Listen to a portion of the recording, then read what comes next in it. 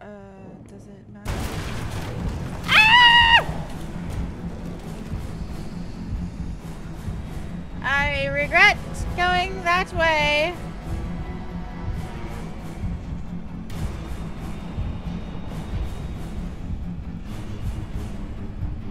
I'm sorry, Bendy Senpai. Forgive me.